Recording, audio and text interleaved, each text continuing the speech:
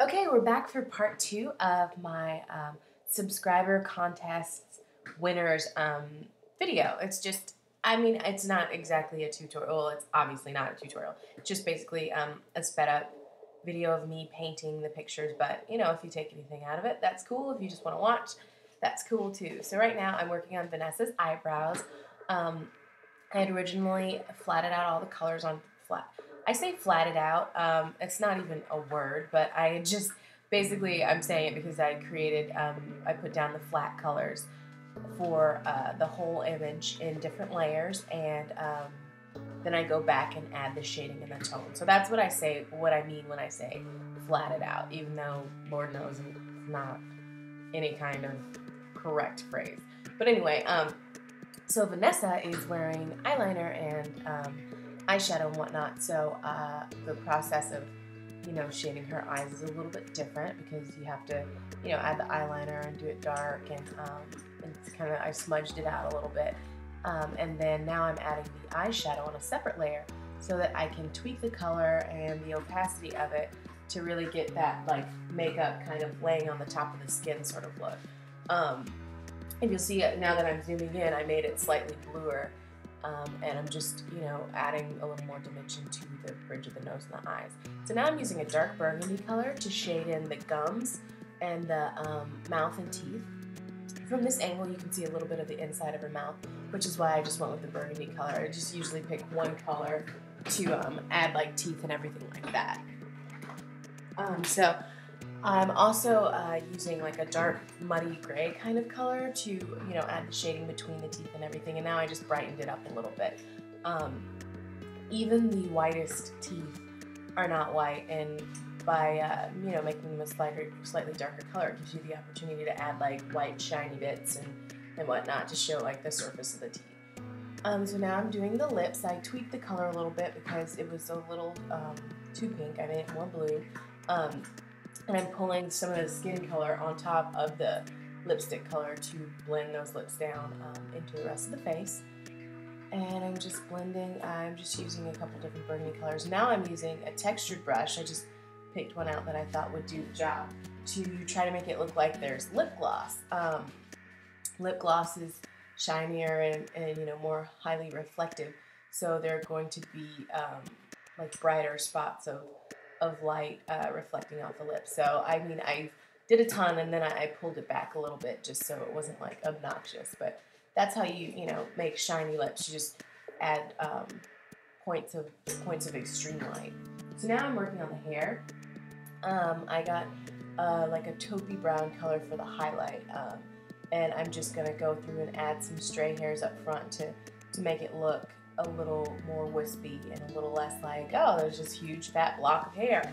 Um, when you're laying down your hair color, I would probably recommend to not do it the way I did, which is I used the pen tool and I just created the shape of it. But I was just kind of on a roll doing it with all the other colors, and so I just went with it. When you're painting out the hair, I would actually use a brush so that you don't have to go back in later and add the texture around the edges. So right now, I just created a curl on its own layer because I am beyond lazy and I, I created this particular curl and made a couple variations of it and then I just duplicated it and added it in a few spots around the head to just kind of get me started on all these freaking curls because um, curly hair is beautiful but it is not by any stretch of the imagination my favorite thing to do. So to just kind of save time because by this point this this monstrosity had taken me forever and I was spending way too much time on it so I just duplicated the curls over and over again and just had only had to paint about 50% of the hair originally. Um, so now I'm working on the, the bustier the dress.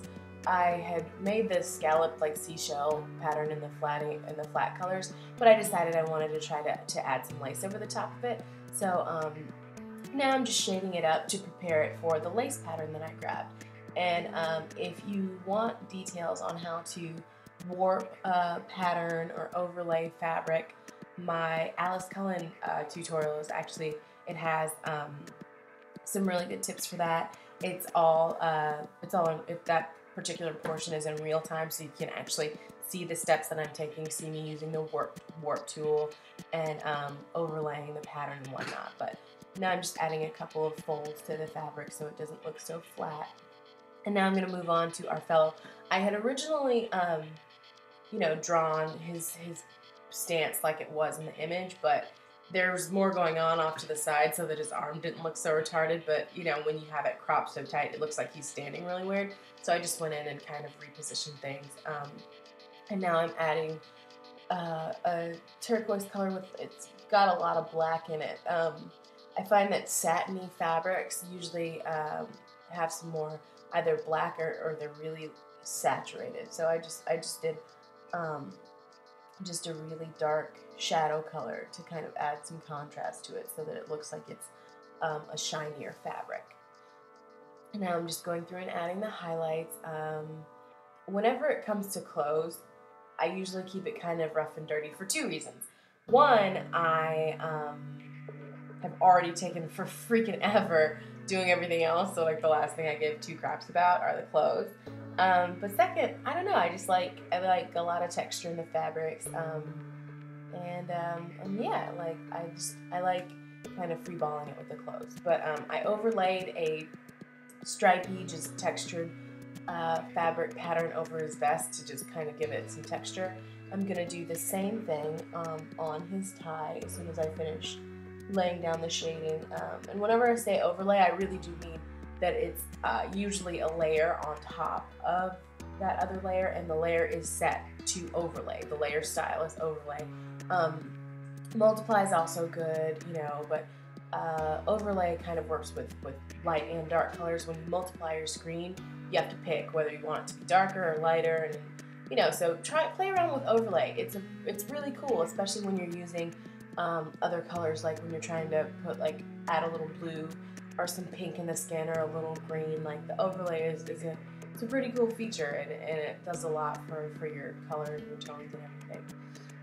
So I'm just uh, I just went in with some gray to shade the shirt and um, kind of just add some some texture and a little bit of thickness to it to the fabric. And I'm I was using um, the uh, gradient tool that uh, if you if you don't see it, it's because you've got your paint bucket tool selected and you just have to like click on it and switch up the tool. But anyway, now I'm moving back over. I had forgotten to give her a necklace, so I'm, I'm just adding a little necklace.